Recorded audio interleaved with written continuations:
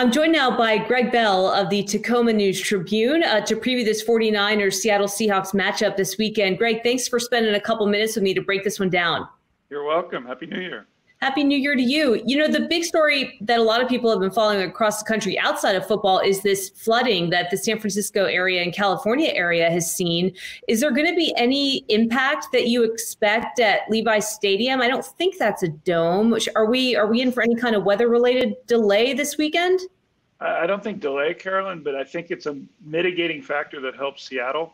And anytime Seattle plays in rain, it's Seattle's used to that. But it's a natural turf field it's been raining, as most people know, quite a bit in Northern California for this month. And there's supposed to be at least a half inch of rain on Saturday with winds maybe 20 miles an hour is the forecast. 100% chance of rain. So it is absolutely going to rain.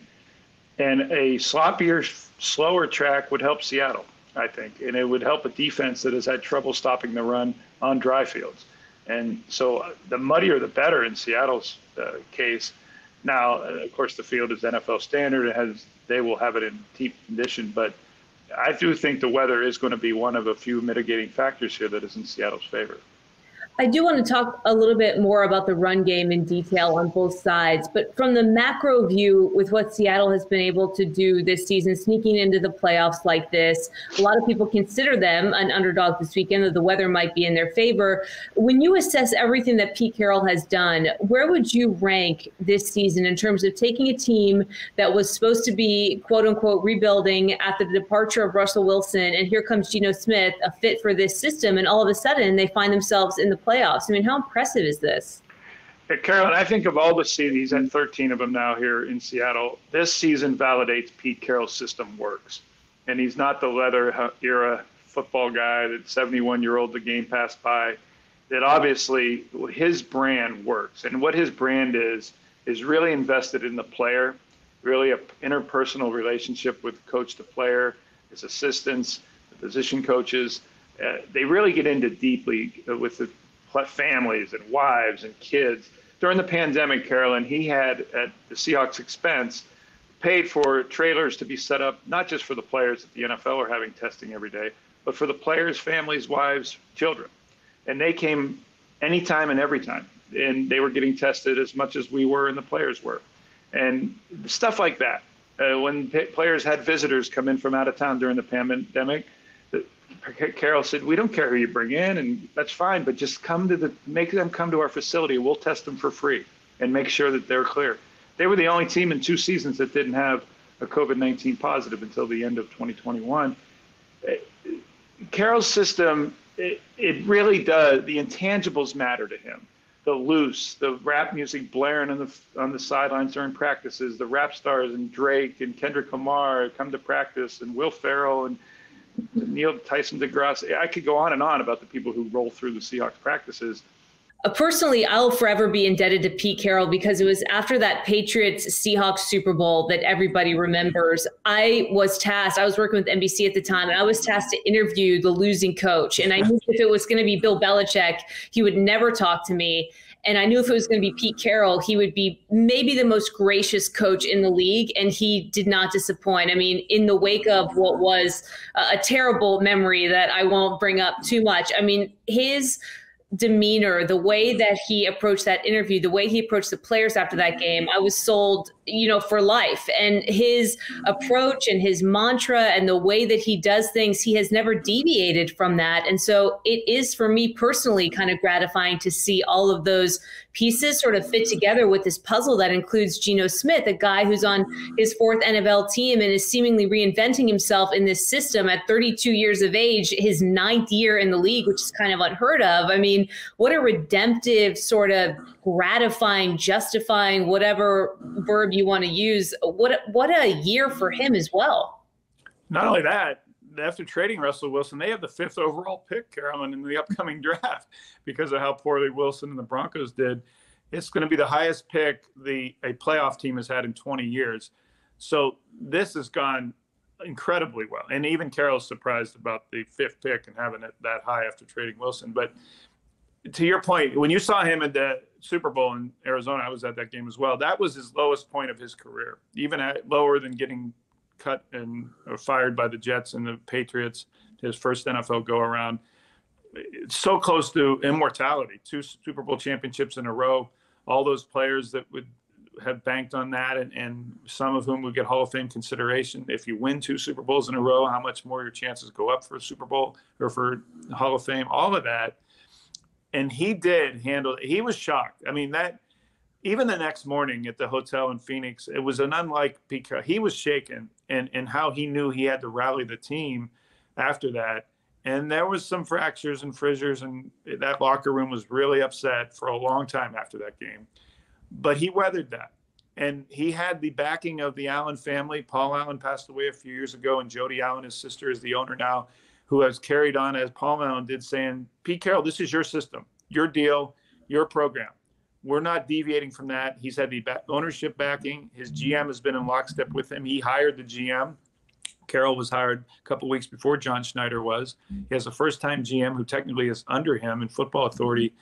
And Carroll has been able to do restart, and really, this is the second restart of the. It, this is a lot like 2012 and the draft picks and the success, and then getting into the playoffs, and maybe not quite being good enough for a Super Bowl, but then tasting it. It's a lot like that right now, and not many coaches in the NFL these days, Carolyn, get get that opportunity to stay that long and know and have the uh, uh, security to know you can restart.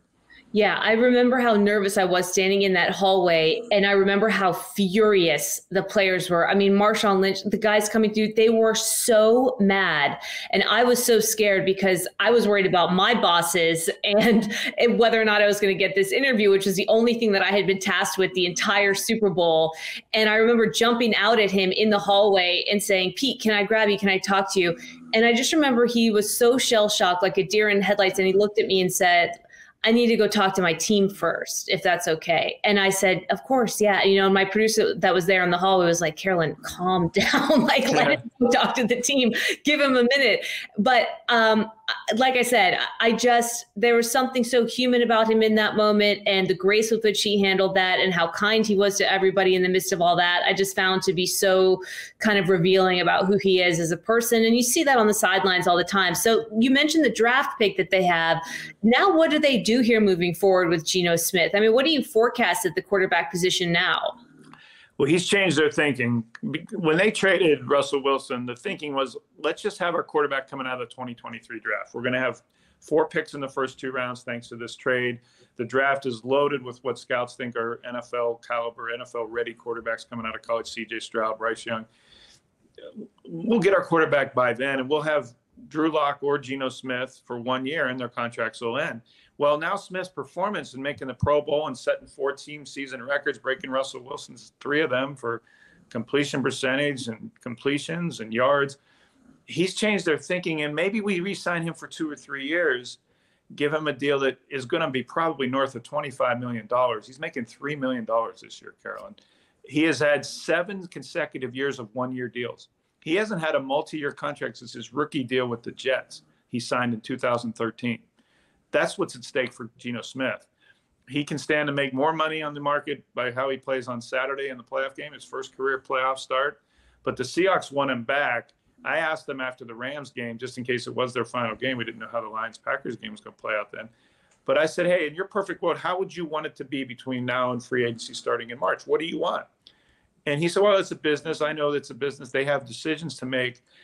I have business and decisions to make as well. And what that told me is that he wants to test free agency. Mm-hmm. And at age 32, he knows this might be his only chance at the big free agent riches that players who have been in the league 10 years normally get, and he has not had. So he's going to go from three three million dollars this year to perhaps 25 to 30 million dollars a year next year, 10 times, because of how he performed. They're looking at Ryan Tannehill's salary at 29 and a half million in Tennessee, a 35 year old quarterback who's not a Pro Bowl quarterback this year, who's not in the playoffs. That's an easy comp that his side can tell the Seahawks, hey, if the Seahawks don't want him to even test the market, which is going to be rich, they could franchise tag him. That'll be 32 million and a half if they do the exclusive. If they do something like a transition tag, it'd be more like 30 million. That's a lot of money, and that would be a one-year deal. Then perhaps you draft a quarterback you don't have to start next year. You could have him as a project for a couple years, but they have a lot of other needs defensive line, stopping the run, interior offensive line, linebacker they could use with those top picks in the draft. He certainly deserved the the right, the opportunity to test the market if he wants to. I mean, if for no other reason than the perseverance to kind of stick around one year deal after one year deal. What is your sense, or I guess what would you do? I'm asking you to look into the crystal ball a little bit, but hmm. do you see a scenario where he gets tagged? Do you think that there's a situation where Seattle would let him walk and focus on the draft? I mean, do you have any sense early on of what might ultimately happen? My sense is that Pete Carroll is so into the interpersonal, Carolyn, as we've talked about, that in situations like this, he hopes that holds sway. And that perhaps they could re-sign him for 20 to 25 million for a couple years with upfront bonuses. And because Seattle made him a starting quarterback and who he was this year, that he comes back because he's familiar with them. And yeah, he could probably get a little bit more in the open market. And maybe Seattle hopes that that's what they do. They'll probably offer him something like that before the market opens. But again, 32 years old, having sat on benches for seven years for four different teams. If I were him and they don't franchise tag him, I would go to the market and I'd at yeah. least say, okay, here's what they're offering me, and other teams are offering me. Seattle, do you want to match this?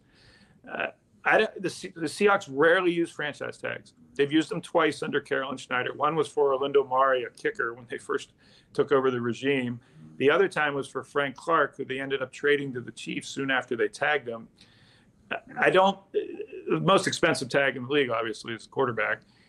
I don't see them tagging him because they don't want to deny him free agency if a look if that's what he wants to do. They they are so into the interpersonal that if a guy gets that close to the market and they don't and he doesn't take the Seahawks offer, they'll say, okay, you shop and give us a chance to match it's interesting. I mean, we're going to have to kind of see what happens after this run is done and just kind of coming back around and focusing on what they're going to be up against against the 49ers on Saturday. How winnable is a game like this for Seattle heading into this weekend with so much at stake? And what will they need to do better that we haven't seen in the last couple of games? Well, it's the least winnable of any matchup in the league, Carolyn, because of how San Francisco plays.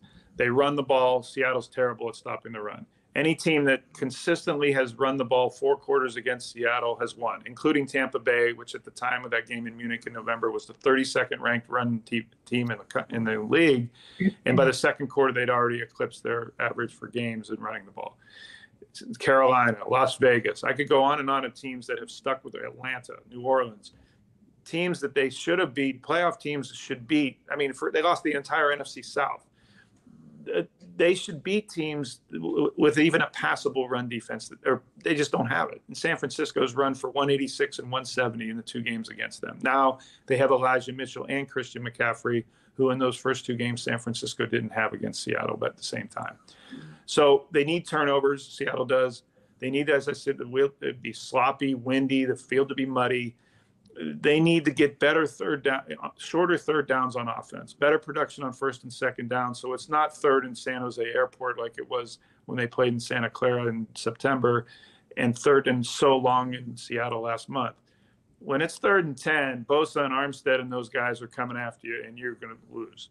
And that's what's happened in the two meetings. So Kenneth Walker running the ball is going to really be important on the early downs so that Seattle's in third and two and three instead of third and nine and 10 and then they got to get lucky. And that's what happens when teams went on the road and upset a, low seeds, beat high seeds. That you get luck. You get the last time Seattle was this big of an underdog, eight points at Philadelphia three years ago in the first round of the playoffs. They knocked the starting quarterback out of the game in the first quarter and they won the game. The, stuff like that, the, the game, the things you aren't foreseeing has to happen for Seattle to win. This is just a bad matchup physically. They've been absolutely dominated at the line of scrimmage in the two games so far.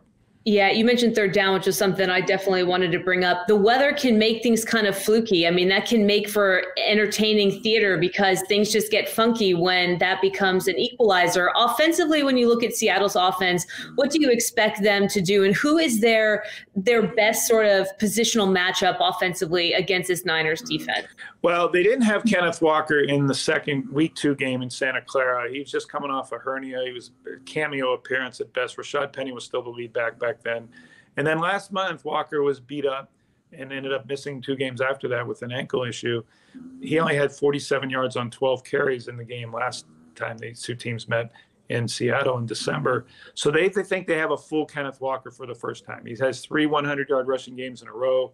He's been really hot since the second half of the Christmas Eve game in Kansas City when Pete Carroll looked him in the eye and said, Quit running laterally. The jump cuts is what got him off to such a fast start as a rookie, and then the league caught up to that, and we're waiting for him. The first half against the Chiefs, Carolyn, he had 16 yards, and the Chiefs were just waiting on his lateral cuts to cut right back into him. They weren't even penetrating through the line of scrimmage; they were just standing there waiting for him to cut back to him. And now he's running more directly and more decisively into the line. And since then, three 100-yard games in a row. So they think they have a different Kenneth Walker than can, than San Francisco has seen so far, and therefore they think they will be in third and short rather than third and long that they were in the first two games. Defensively, they've got problems they didn't have even the last two times they played San Francisco. Jordyn Brooks is not there. He's out for the season with a knee injury in the middle of their defense. So now they have Tanner Muse and uh, uh, Cody Barton, who are two inexperienced at inside linebacker making their both their first career playoff starts, and now you got a team running downhill right at them. This team is really, really bad at run defense because their run fits with really just two true defensive linemen. The way they play their outside linebackers, Nwosu and Wosu and Bruce Irvin as defensive ends, you really only have two in the middle, Poona Ford and Shelby Harrison, alternating with Al Woods as your only run stoppers, and teams have exploited that. So they need turnovers. They need, like you said, the weather to be a mitigating and, and leveling factor. Uh, but they really offensively need Kenneth Walker to run the ball to be able to use their whole offense in shorter third downs. Which is a really tough task when you've got a 49ers run defense that right. hasn't allowed a 100 yard rusher all season long. I mean, it sounds like the X factor in this game could come down to a rookie running back. If that's the case, and if Kenneth Walker is able to kind of shock us all and really embrace this moment, I imagine that also takes a lot of pressure off of Geno as well and it, it, it'll keep the pass rush from teeing off on him as it did the last meeting in Lumen Field. Smith has been at his best when the running game has worked for him and defenses have had to play honestly. Seattle's offensive line for years has had trouble in pass protection when they have to throw, when it's third and long, and San Francisco's is the best in the league. So that's what I mean about running the ball. Even if it's two or three yards on first and second, I'm not saying they're going to run first, run second, and then be third, but they need to have success on first and second down, not negative plays. So it's not third and 12 and 10. And, and that's when Geno Smith's going to be in trouble. Uh, if Arik Armstead and Nick Bosa have to play the run on third down and at least be cognizant of it and not run straight up the field, then Geno Smith's going to be a much better quarterback with more time to throw to DK Metcalf and Tyler Lockett. I think there's some chances on the outside of San Francisco's defense at cornerback. Ward's been very good, but on the other side, I think they're going to target away from Ward but you need time to throw to do that. And that's something Seattle hasn't had in the two games. They're hoping the running game with Walker will allow, allow them to do that. They have surprised us before this season. We'll see uh, with a matchup that doesn't necessarily seem to be favorable, but with a little bit of wet weather, anything can happen. Uh, Gregg Bell, thank you so much. Appreciate it. Safe trip to San Francisco. Stay dry, stay yeah. safe. We appreciate the insight. Thanks, Carolyn. Take care. Happy New Year.